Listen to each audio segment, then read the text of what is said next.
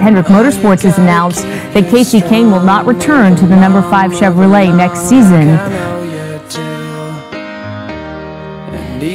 Kasey Kahne will win the Brickyard 400.